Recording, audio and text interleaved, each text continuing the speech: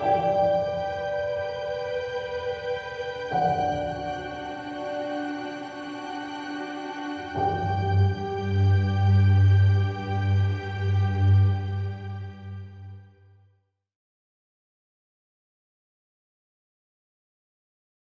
you, John. Uh, one thing John didn't mention was that uh, his talent uh, and compassion helped change the trajectory of my son's life. Uh, John was a cross country coach at Kingwood High School and uh, turned my son uh, into a state champion. And it just has affected everything that he's done since. and I hope that if you listen closely enough to him, he can change the trajectory of your lives too. Having said that, um, today is September 2nd, and this is exactly 1,830 days since Hurricane Harvey first hit Houston. Um, it would have been uh, earlier in the week. Uh, Harvey lasted for about four or five days as it slimed this area. And um, Along the way, it dumped 54 inches of rain. Uh, how many of you in the audience flooded during Harvey? Looks like about a half to two thirds. Um, were any of you going to this college when it flooded? Okay, so some folks around the, the edge. Um, Let me uh, define a couple terms that I'm going to use before we get into this. One is the, the word flood mitigation. Does everybody know what mitigation is? Mitigation means to lessen the severity of something, okay? In the, the world of flood assistance, it's divided into two main parts. The first part is recovery, and the second part is mitigation. In the recovery world, the governments grant money to help people repair their homes. It's very much focused on individuals. But in the mitigation world, the focus of the money is on lessening the severity of future floods. Um, and that's what I'm going to talk about today. The photo you see up on the screen is a photograph uh, looking south from the, uh, I think it's the, uh, the overpass uh, on Sorters McClellan Road that crosses 59 towards the Costco over in Humble, and that whole area uh, flooded in front of you. The question most people ask me is, are we safer now than we were then? Well, there's no simple answer to that question. Um, what I'd like to do today is take you through, first of all, what happened, then talk about why it happened, and then talk about mitigation. So, first of all, what happened? If you go into the Harris County Flood Warning System and you look at the historical section for each of the gauges that you see there, you could compile a graph like this on your own. Uh, basically, what I did was I went in and I looked at the Harvey peaks uh, at each of the gauges in the northern part of Harris County and uh, compiled this graph. And guess what? The four gauges over on the left hand side all are from the northern part of Harris County.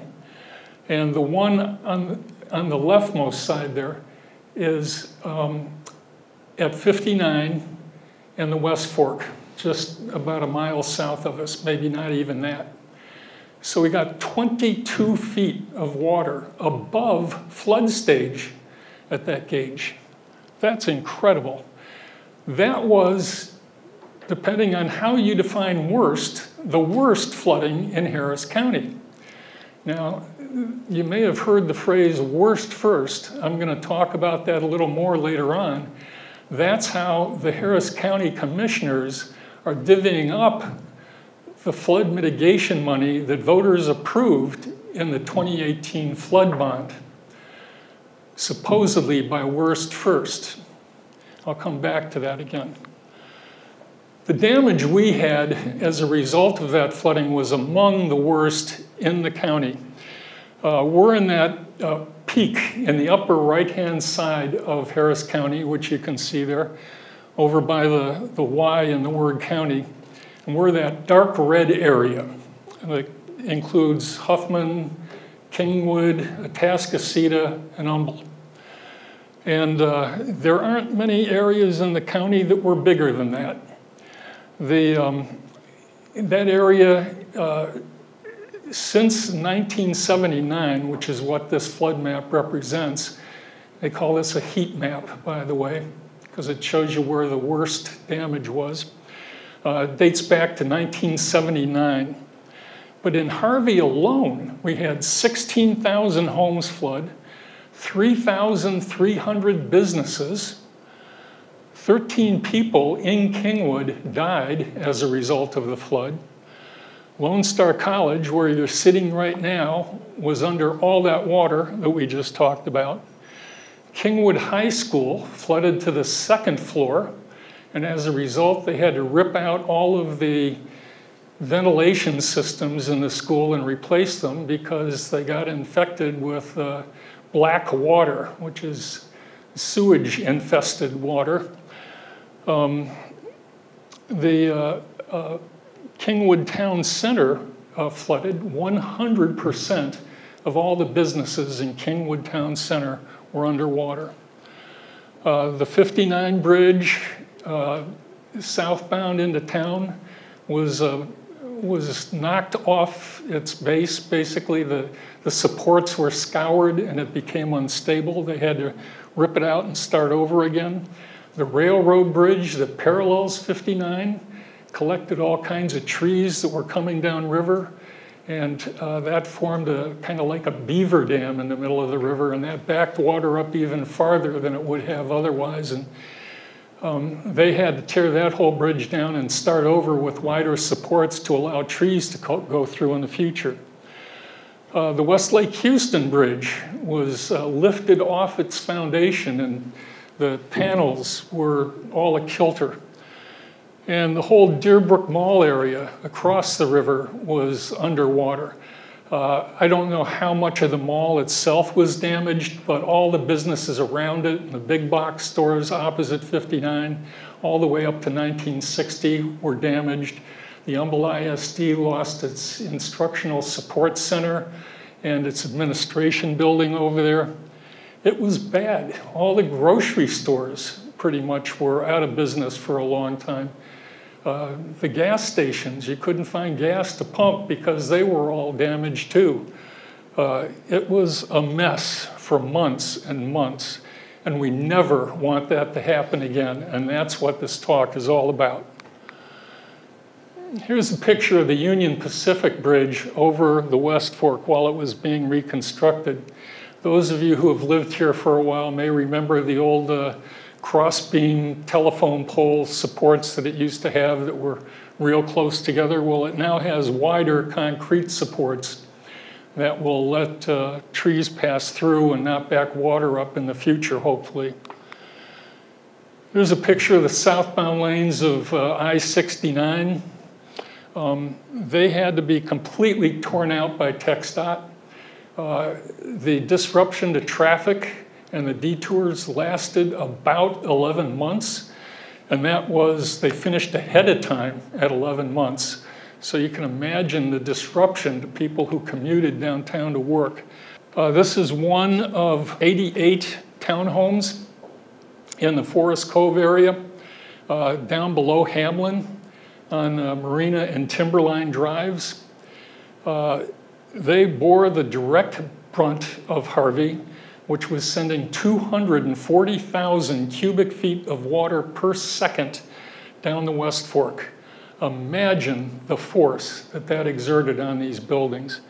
It just went right through them. It blew out the doors, it blew out the windows, uh, and people were lucky to escape with their lives. I've interviewed three people who lived down there and one had to be rescued in a, uh, uh, first responder lifeboat.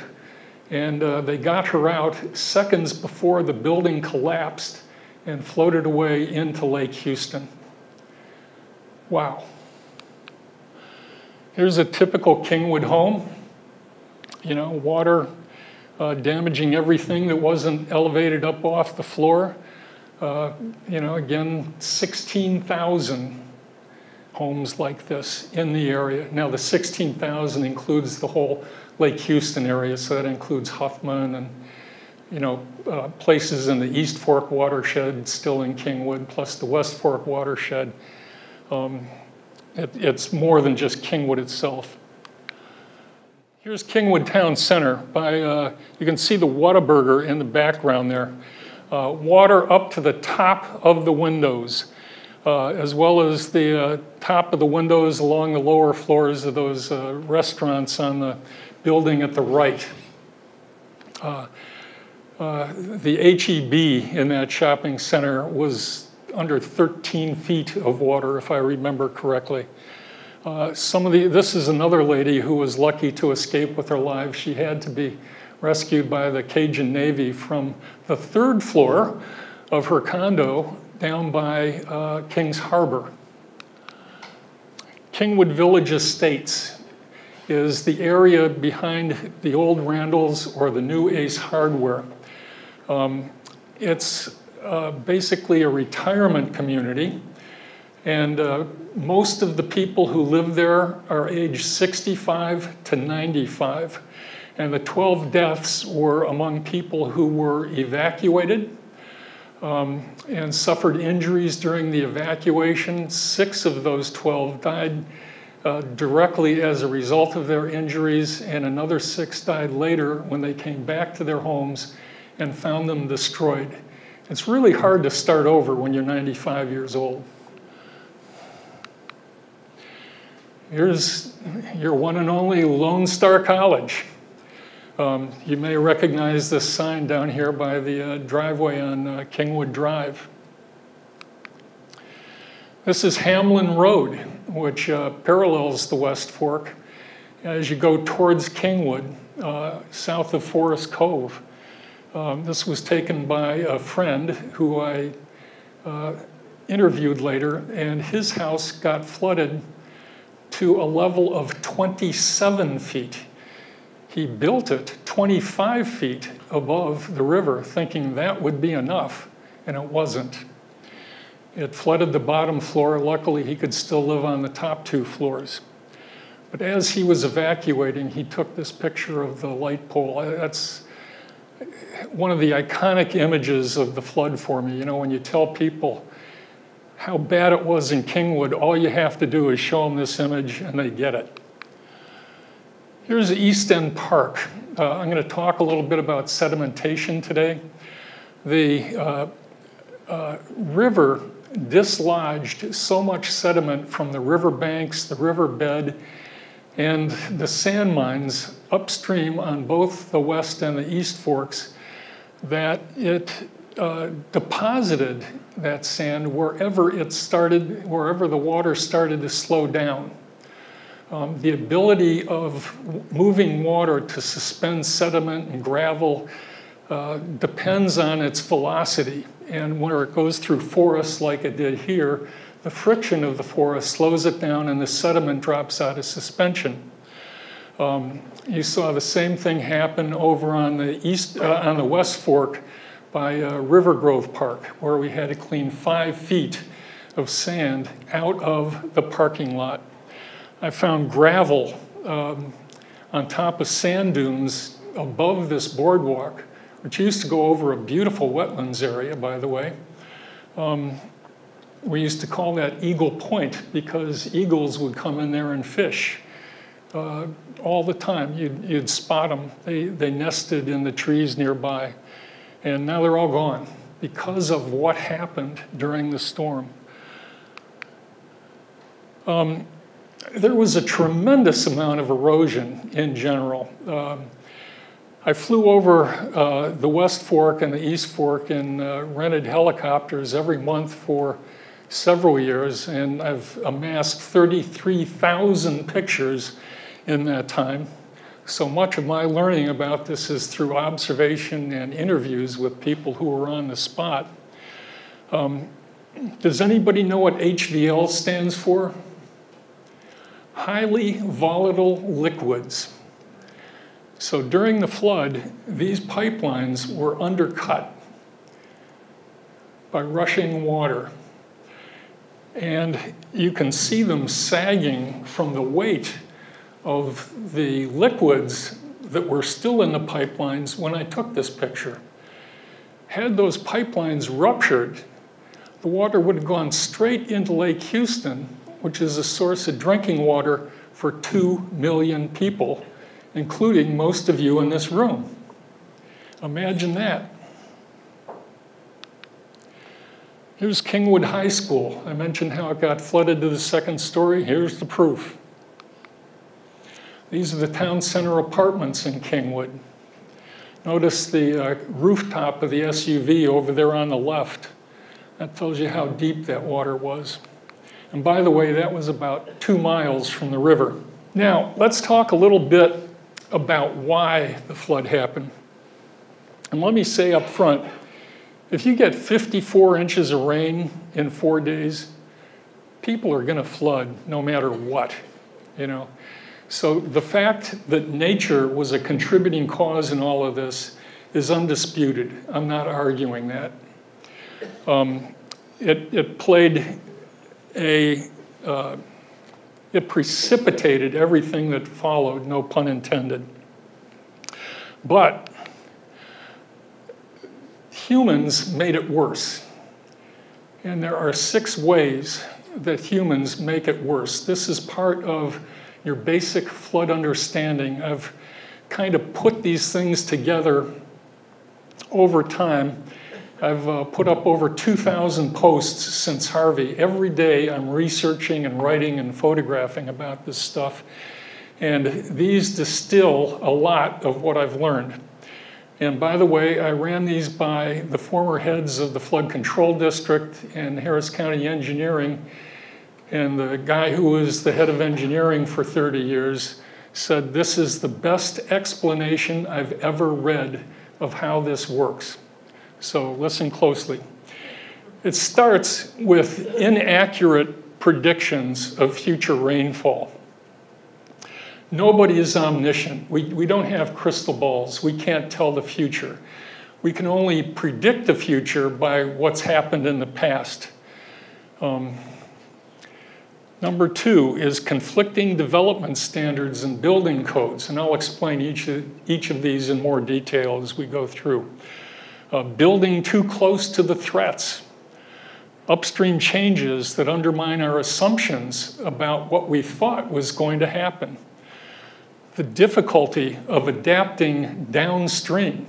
You know, once people build homes and colleges and roads, you, you can't just lift them up 10 feet and say, okay, now we're safe again.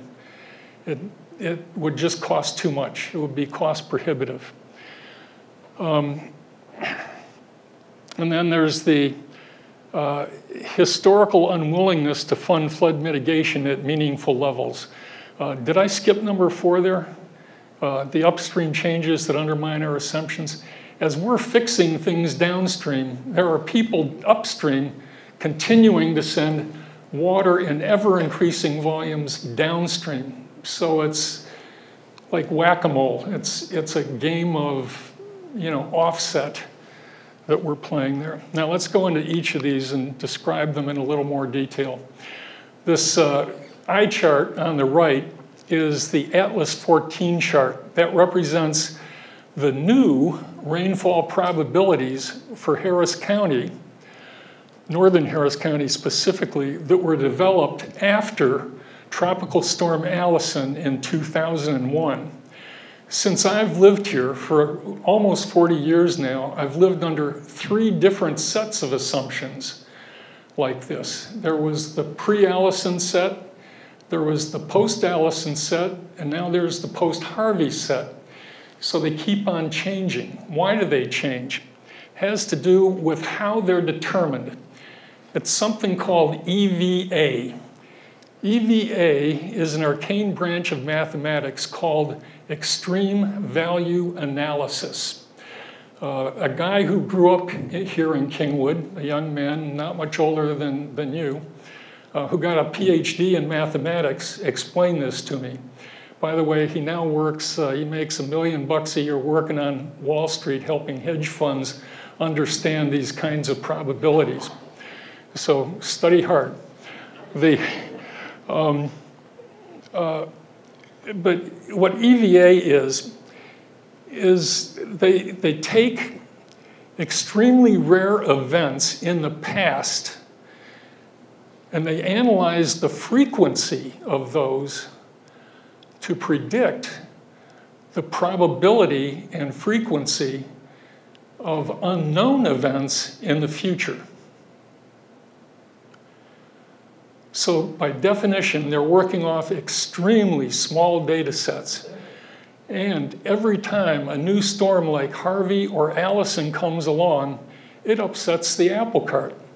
It adds to their data set. It says, there's more that we have to learn about this stuff. We guessed wrong in the past.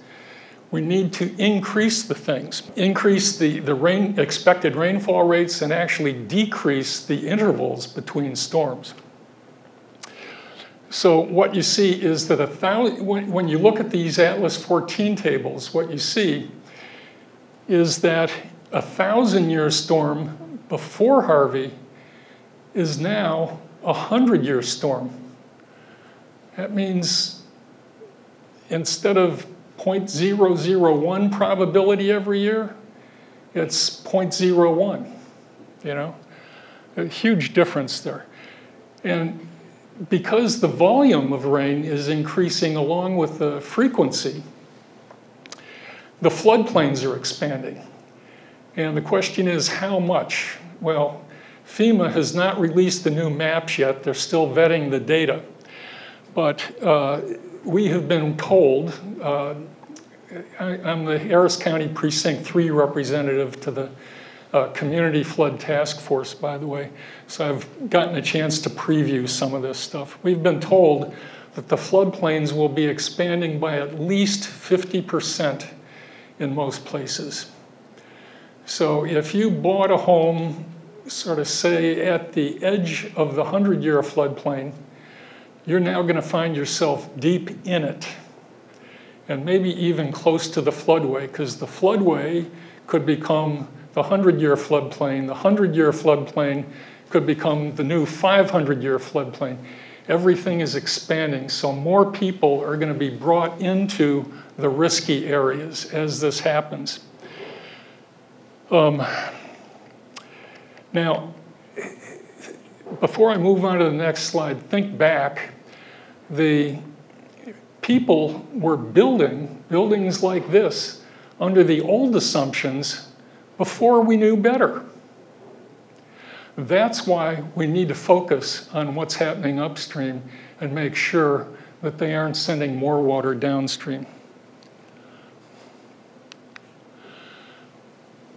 Um, what we see when we look around uh, the seven county region is conflicting development standards and building codes.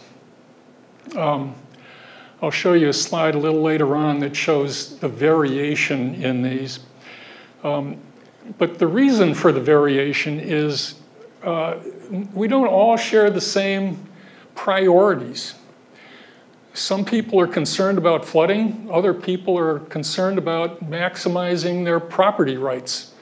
You know, they own land in a floodplain and they want to sell it. They want to get rich, they want to retire off of that floodplain land. So they convinced their county engineers and their county commissioners that, well, if we do it the right way, it won't be a problem. But a lot of them try and cut corners later on, and I've documented a lot of those. Uh, the former county engineer, John Blount, proved uh, through high, that higher standards and more stringent building codes uh, reduced property damage 20-fold. Uh, many of those changes were implemented before Harvey, and they came back after Harvey and did a comparison study to surrounding properties, and that's how they made that determination. And yet people are still reluctant to adopt minimum standards that could protect people. And it's because of what I just talked about, this property rights versus public safety. And it's because of that, the, the conflicting standards, that you'll find lax regulation and spotty enforcement in many areas upstream from us. And they do that, they won't admit this, but through personal experience, I've found that they do this to attract development. Before I retired, I had a 20,000 square foot building on the Harris County Montgomery County line on 3.4 acres. And the Montgomery County people put the hard rush on me. They said, build it over here, you can do whatever you want, and your costs will be cheaper. And in fact, if you went to the East Montgomery County uh, Improvement District website, uh, up until very recently, they may still have it on there, you'd find a video that says, Come here, we have no rules. wow, you know, talk about being brazen. Um, so, this is what I meant by you know, people can send it downstream in ever increasing volumes. They, and I'll tell you how they do that in a second here. I also mentioned building too close to flood threats. You're looking at a picture of Brays Bayou. If you're not familiar with Brays, it cuts south of downtown. It sort of parallels Buffalo Bayou. It cuts in from the west side and empties into the ship channel on the east side. Um, it goes past the medical center and uh, McGregor Park. Um, but along its length, you'll see uh, apartment buildings built right up to the edge of it, like this, and major streets. Now, if in the future they determine that they need to do some flood mitigation work here, like build a detention basin or widen the channel, how are they going to do it? You've got to buy out all these properties before you can even start. And this is typical of what you see as you fly around the county, especially inside of Beltway 8, where a lot of the population is concentrated. I mentioned upstream changes undermining downstream assumptions. I'd like to start out by telling you a personal story before I moved to Houston, this was in the early 80s, or maybe late 70s, uh, late 70s, I bought a house in Dallas on a, what's called Spring Creek up there. And uh, it was beautiful. It looked out over the Richardson Golf Course. You know, it was quiet, peaceful, tranquil. Tranquil had a lot of trees on it. We loved it. And I looked at the surveys. It was, uh, you know, an engineer certified that it was going to be two feet above the 100 year floodplain. The lender assured me that was enough. I bought the house. And shortly thereafter, the water started coming up to the back door with increasing frequency and increasing height, way past that two foot level. And I said, Whoa, what's going on here? I went to the city engineer. He got a commission started, they got the Army Corps of Engineers to come back out and resurvey the creek. And what they found was that because of one shopping mall built upstream from us that covered uh, 80 acres at the time and now covers about 150 acres with the surrounding buildings, the floodplain had changed. All that impervious cover was getting water to the creek faster. They didn't have any detention ponds built at this facility to hold the water back in a flood. As a result, the Army Corps told us that we were now 10 feet below the 100 year floodplain instead of two feet above it. Wow, that's a difference. you know? So on the, at the next rain, I looked out my back window and I saw a pickup truck floating down the creek. And I said, it's time to sell. You know, I, my wife and I had uh, a small baby at the time and, and another one uh, about to be uh, do, and we just decided we didn't want to live with that kind of flood risk. So um, we moved to Houston, bought this house in Kingwood, and soon, uh, you know, Conroe became the fastest growing city in America, just like Plano was back then. And there are a lot of things going on up in Montgomery County. We're in Montgomery County right now, I think. And one of the things, one of the loopholes that Montgomery County allows for new developments is something called hydrologic timing. If a developer can prove that he can get his water to the river faster than the peak of a flood arrives, that's what this graph is about over here on the left, then he's not adding to the peak, so he doesn't have to build the detention according to Montgomery County rules. He doesn't have to hold any water back. Well, what does this do? It encourages every developer to get their water to the river as fast as they can in a flood so they have more saleable lots. Nobody wants to buy a home at the bottom of a detention pond. And that's what's driving a lot of the increased flood peaks that we see down here. You notice two lines on this chart, a red one and a blue one. The red one builds, this is for Brays Bayou, by the way, and it was developed after Tropical Storm Allison to illustrate how the peaking of floods on the river changed as a result of development. The red one is a pre-development hydrograph. It shows how the water built, and notice the slow, gentle curve. The blue one is a post-development curve because everybody's getting their water to the river faster, the peak builds higher and quicker, and the floods are more violent. That, I believe, is a large part of what's been happening in this area over time. But how do we adapt? Um, here's another picture of Brays Bayou. Notice how all these apartments and, and shopping centers are built right up against the bayou. You know, this is why flood mitigation down there is so expensive.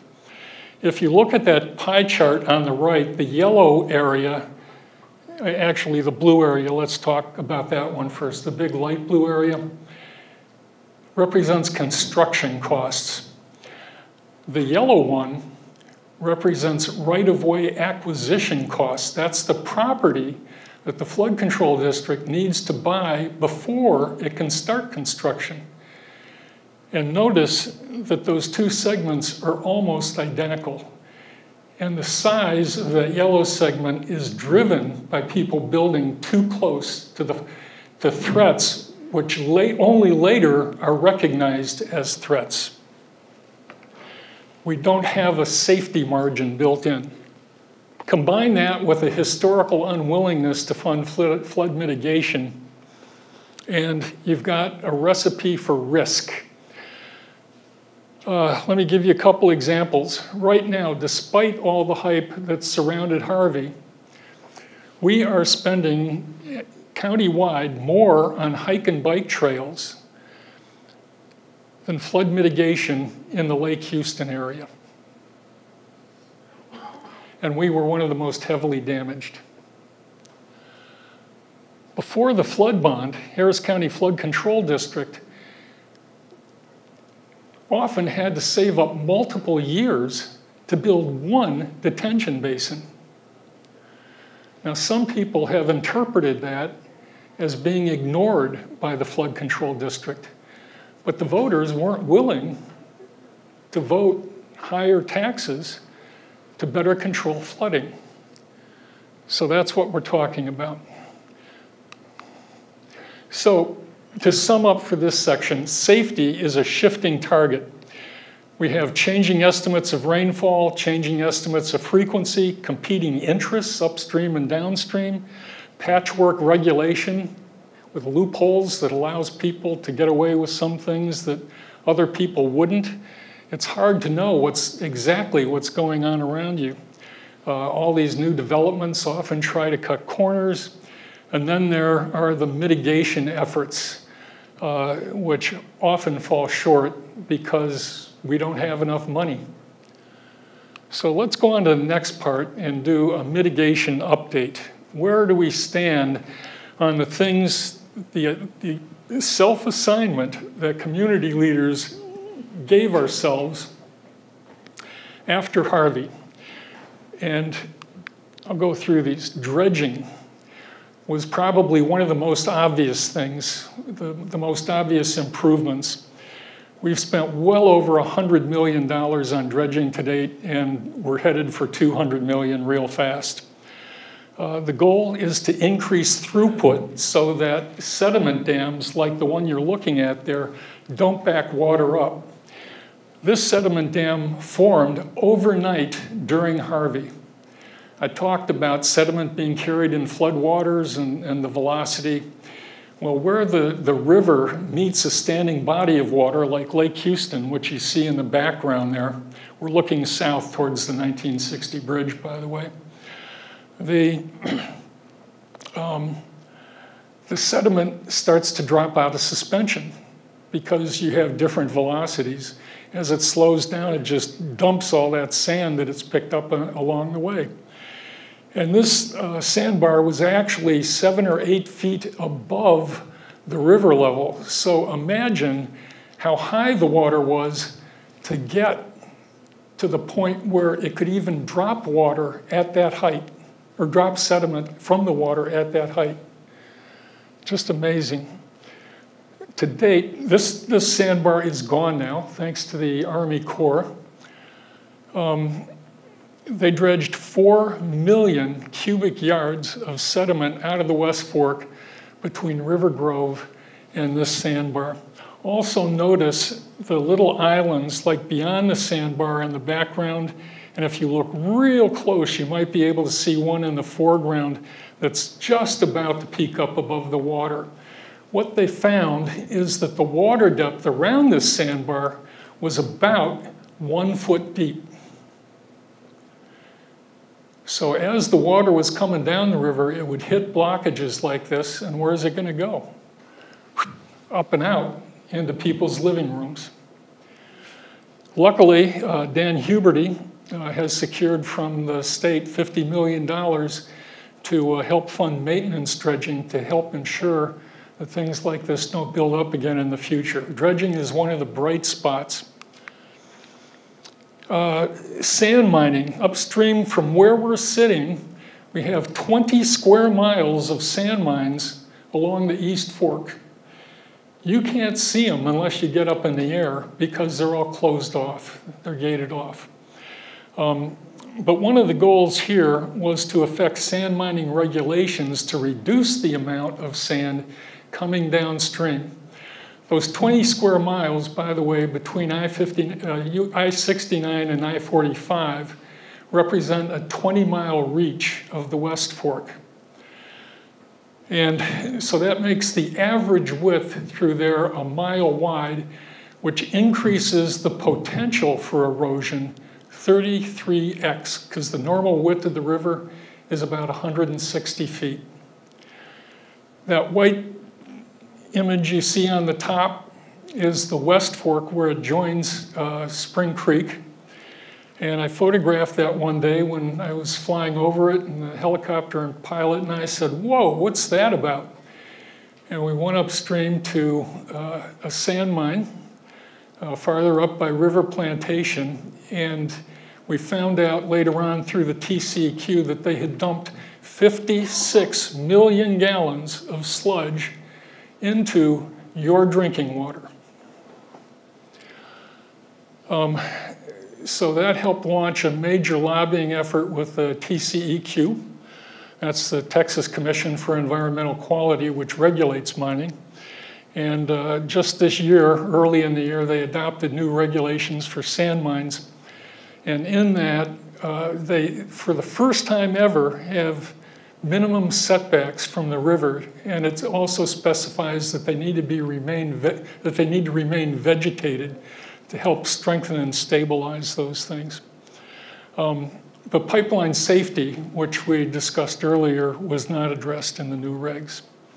Getting these things changed is hard because just as hard as you're trying to change them, somebody else is trying to keep keep them the way they were.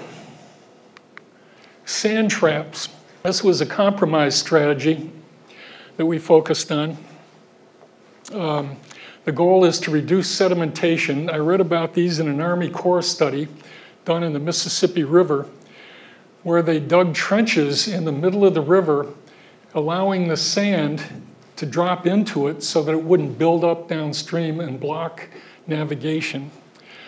Well, uh, the way it got modified after a preliminary engineering review was to build a sand trap in this area that you see in the foreground of that curve. And basically, it would be a trench, a rock line trench through that sandbar that would trap sand that might be coming downstream and allow the sand miners to come out and harvest that sand without paying a tax on it. And so it was an apparent win win for everybody until people started saying, well, wait just a minute. You know, they didn't even study the area downstream where all the damage occurred. And by the way, is this just a form of subsidized river mining, which has been proven in other parts of the world, like uh, in the Mekong Delta, to be disastrous? Um, the environmentalists thought that it would open the door to river mining, so right now they're sort of studying what to do about their first study before they define their next study. And one of my biggest concerns was if it has to be next to a sand mine, then you only can do these things on the West Fork because Spring and Cypress Creeks don't really have sand mines to speak of. They do have a couple small ones, but nothing like these. Um, buyouts. Uh, these are a form of flood mitigation. Basically, they're designed to eliminate future uh, flooding by just buying people's homes at the market rates and saying, okay, you get to move somewhere else now. You don't have to flood every time. Um, uh, this is one of the uh, uh, homes that I, where I interviewed a lady down in Forest Cove, and they had to be rescued by boat also. It was a traumatic experience to say the least. Um, she gladly took the offer, but one of the things they found when flood control started buying these out was that it wasn't so easy to find all the owners. Um, many had just fled their responsibilities, moved to another state or another country without leaving a forwarding address, and said, okay, it's somebody else's problem now. So the legal proceedings delayed the buyouts. They had to foreclose on them, and they finally just tore the last one down earlier, uh, about a month ago. It was a month ago today, as a matter of fact. Floodgates. Um, you hear a lot of people talk about these online. Uh, this was one of the things, one of the three main strategies that was outlined after Harvey. Uh, we wanted dredging to let the water get through without being blocked. We wanted floodgates to let the water out faster so it wouldn't back up. And we also wanted more upstream detention so it wouldn't come inbound as quickly as it did. The uh, uh, goal here is to somehow balance the rates of the, um, the gates on Lake Houston, which you see on the left, and Lake Conroe, which you see on the right. Lake Houston can release water at 10,000 cubic feet a second, but in a flood, Lake Conroe can release it 15 times faster. Wow. You know, you wonder why water built up? That's one of the many reasons. Um, now, uh, if we were able to lower water faster in advance of a storm on Lake Houston, it would enable a joint reservoir operations policy. But right now, we're still studying what to do with adding gates on Lake Houston, so that study is on hold um, a big snag. The reason it's been on hold for so long and, and why they keep on studying new alternatives is because of something called a BCR. BCR stands for benefit cost ratio. FEMA, if they're going to fund these things, wants to know that the benefits exceed the costs. Otherwise, why would you do it? You know, in their mind.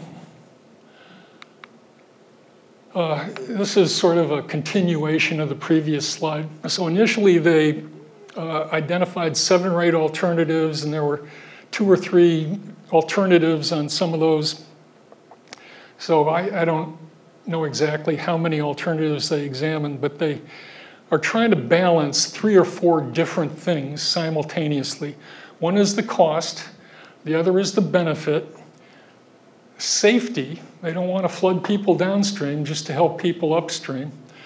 And uh, also, their work in terms of safety, they're working with brittle concrete, which was poured 70 years ago in 1952. Um, and there's some environmental risk to all this, too. There are some sensitive wetlands downstream that they're concerned about pre uh, preserving.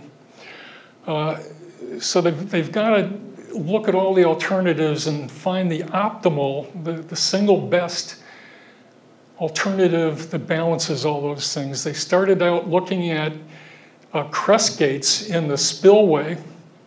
Crest gates operate off a piano hinge, like at the bottom.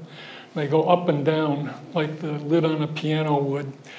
And to do those, they'd have to chisel away the concrete on the dam for about they, looked at 500, 1,000, and 1,500 feet. And then, you know, level it off, somehow attach the crest gates to it, and then, you know, start building water up in the lake again. Uh, they abandoned that uh, thing because it cost twice as much money as they had from FEMA. The, they couldn't get the benefit cost ratio right as you look around the lake, most of the homes were already built above the 100 year floodplain, but FEMA is using the old 100 year floodplain to configure or to calculate the benefits. So they're coming up with very little damages avoided, is, is the issue there. Um, so now they're looking at adding tainter gates which go up and down on a radial arm. Uh, they're kind of like the gates you see on Lake Conroe and capable of you know, releasing a lot of water real fast. Uh, they're looking at that for the eastern portion of the dam, which is the earthen portion just out of frame to the right there. And uh, uh, they're also looking at alternative funding that doesn't rely on FEMA so that they can uh, make this thing happen without having to justify the cost quite as stringently. In the meantime, we seized on a couple temporary strategies. One was Lake Conroe lowering. Uh, the goal here was to get more storage capacity for flood water in the lake. If the lake is down when the flood arrives, you don't have to uh, release quite as much water quite as fast. Um, but when they started lowering the lake, uh, they got pushback from Lake Conroe residents who own boats up there and didn't like the fact that they had to step down into their boats. So uh, they staged these massive rallies like the one you see here in this picture.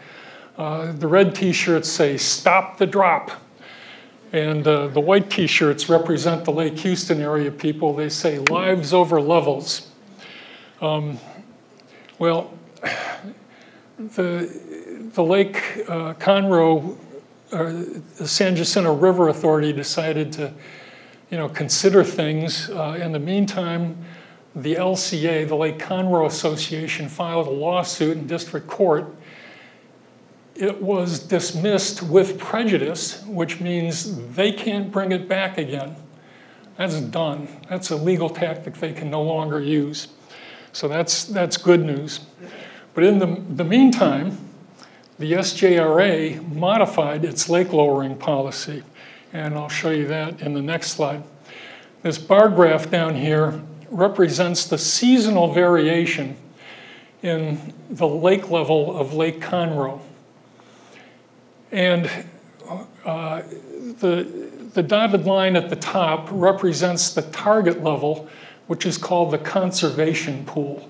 That would be the ideal level if they didn't sell water from the lake and if water never evaporated during the summertime.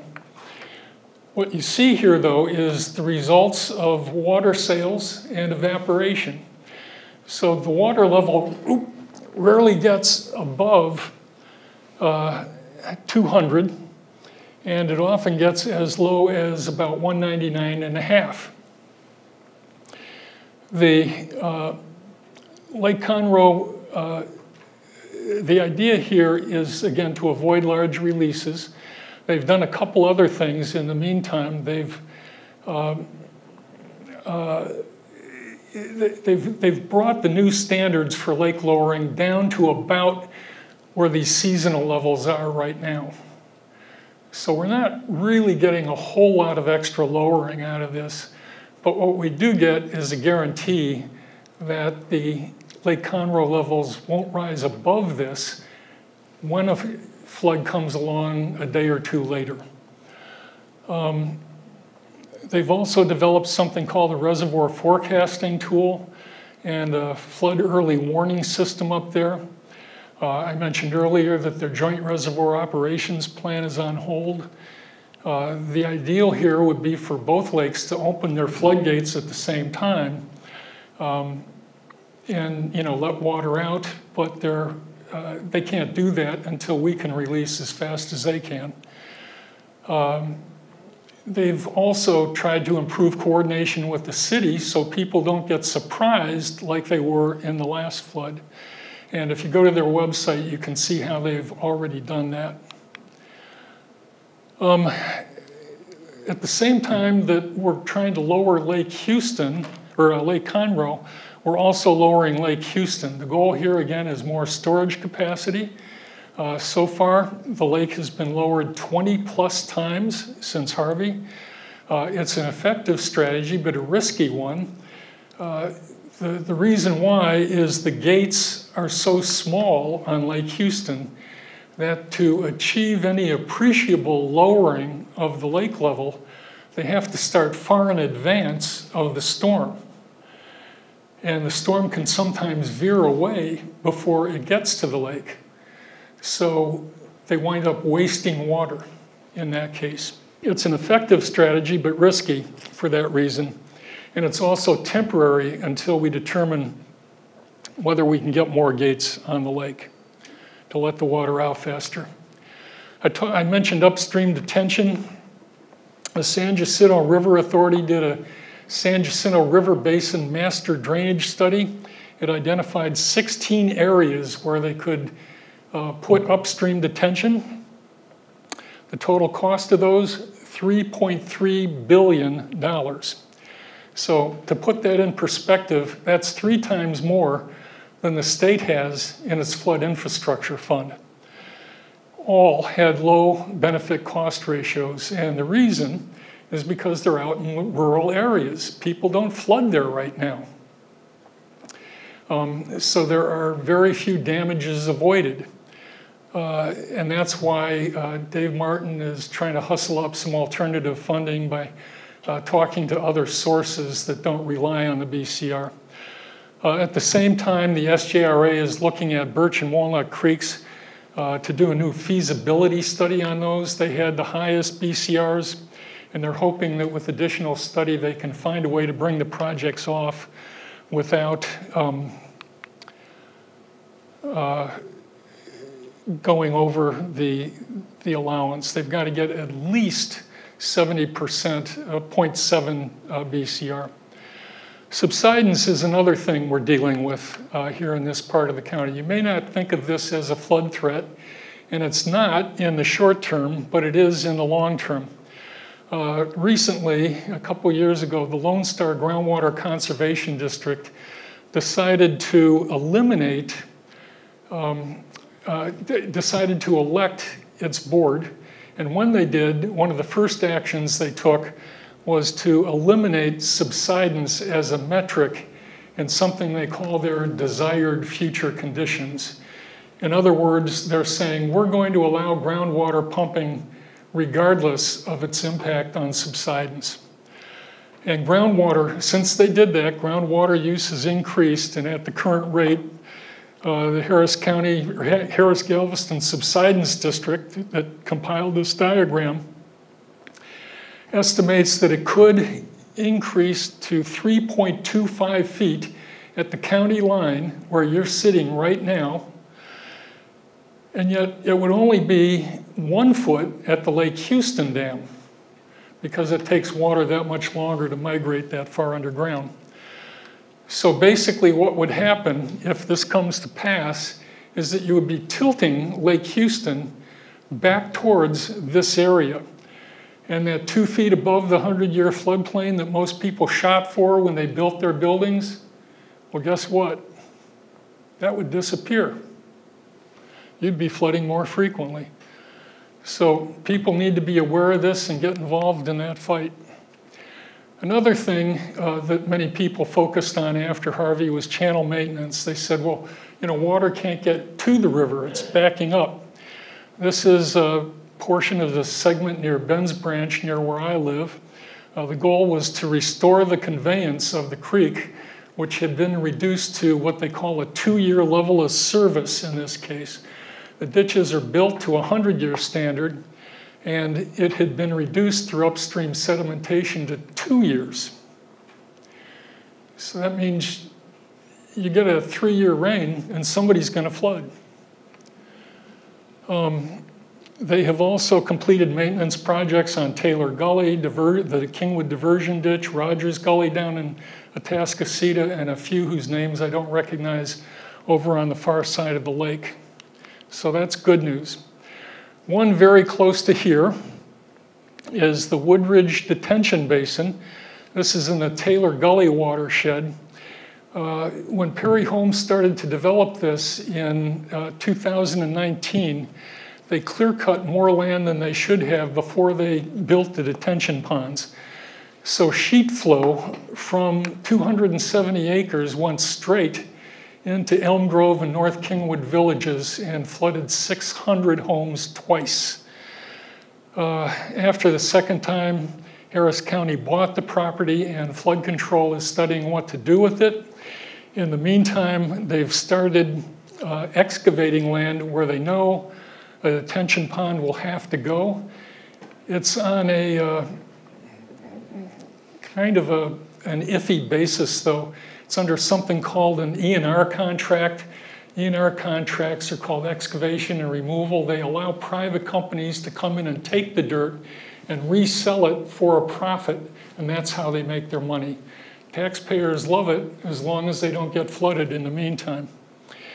Um, but it gives us a head start on the excavation when the engineers finally figure out what they're going to do as of last night, the flood control district told me they'd removed 55,000 cubic yards from that area out of a projected total of 500,000. So uh, they started this back in January. They've, they've got a ways to go yet. Uh, area drainage studies. Before anybody is going to fund a flood mitigation project, they want to study to prove that it's going to be worthwhile, and they want to know that it's going to help someone. So nothing gets done in the flood mitigation space without studies, oftentimes multiple studies. You have preliminary engineering reviews, uh, engineering reviews, and then you have construction engineering after that, uh, where they verify all the costs. Uh, here's how things lined up in the Lake Houston area. For reasons that only the flood control district knows and will explain. They, um, uh, they, they split the Lake Houston up area up into four places. Uh, Kingwood, Huffman, Crosby, and Atascocita. The Kingwood and Huffman studies are done, and the Crosby and Atascocita studies just started earlier this year. So five years to start a study. And by the way, on the last one, it took them five months to issue the purchase order after the commissioners approved the money for the study. Uh, in terms of active flood bond construction, where does that put us?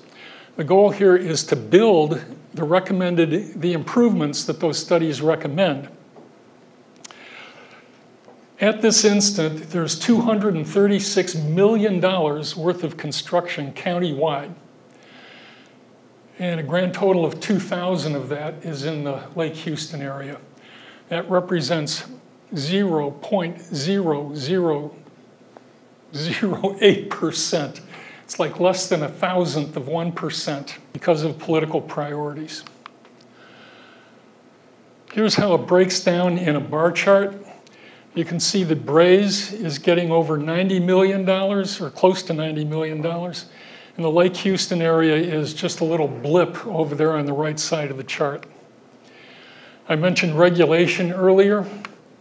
The Flood Control District hired a company to survey flood regulations in surrounding areas and also municipalities within those areas, including Harris County and then make recommendations to bring all of their regulations up to a consistent minimum level. And what you see is that about 40% of the people studied already changed their regulations. This is good news.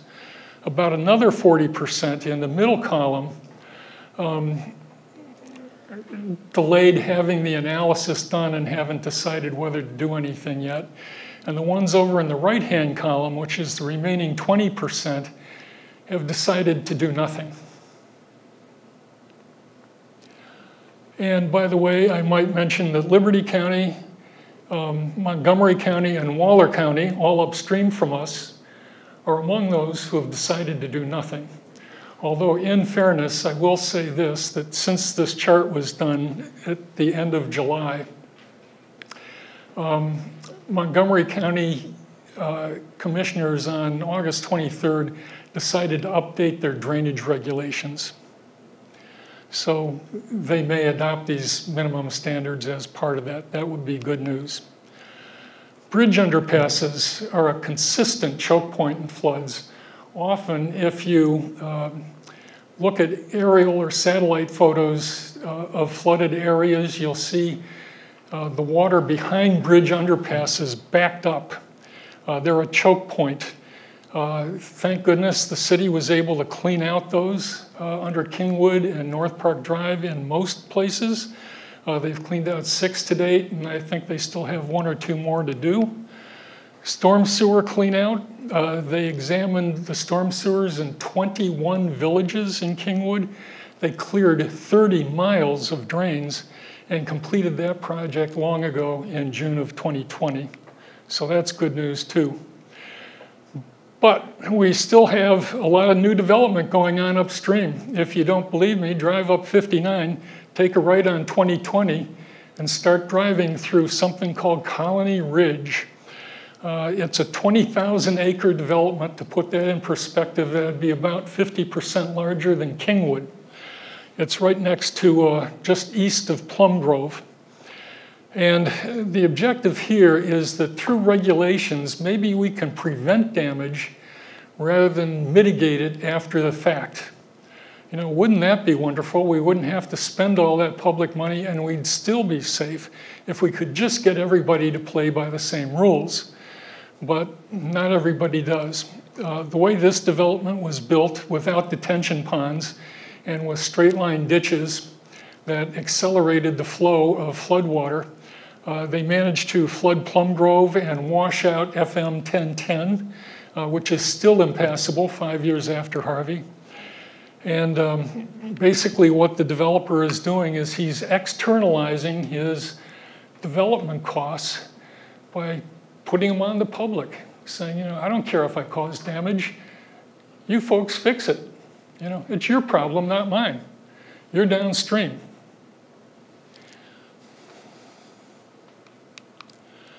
So here's a summary. What happened? We got 20 feet of flood water that destroyed a community. Why? We weren't prepared. Uh, we had some self-inflicted wounds. The flood mitigation that we'd done prior to Harvey was underfunded and inadequate. And the mitigation since has been incomplete. It's far from done. I'd like to leave you with one last thought. I amazed even my wife with this one. Um, she's the world's most prolific reader, by the way. She's on her second time through the Library of Congress. Um, it's the parable of the five whys. Raise your hand if you've ever heard of this. One person, Jim. It was, this was a methodology developed by the man who founded Toyota. It's a form of quality control and root cause analysis. Basically, the premise is you never get to the root cause of a problem until you ask the question why at least five times. Well, with something as broad as Harvey, you can go down a lot of rabbit holes, but I'm going to give you an example of one, uh, how that works.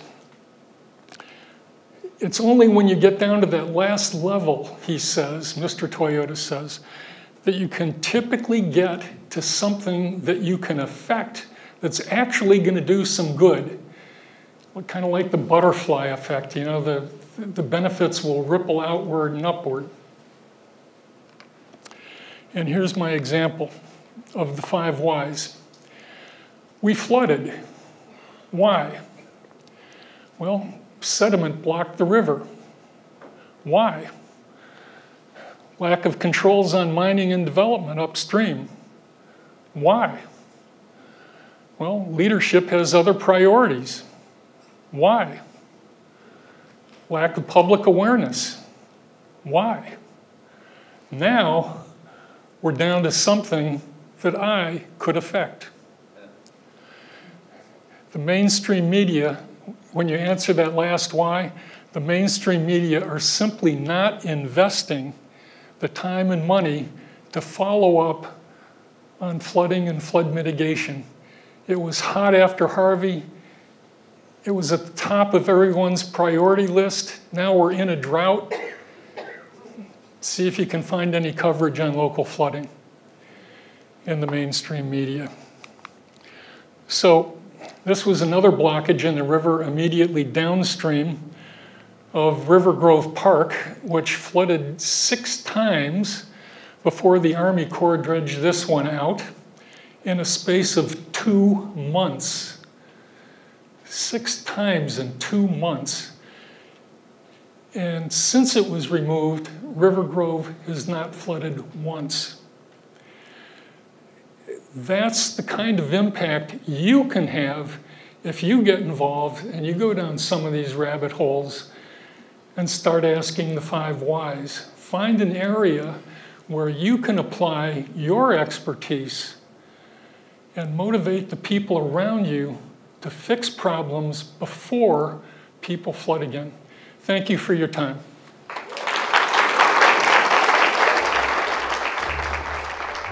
Be sure to follow us on our social media, like this video, leave a comment, and hit that subscribe button to be notified about our latest content.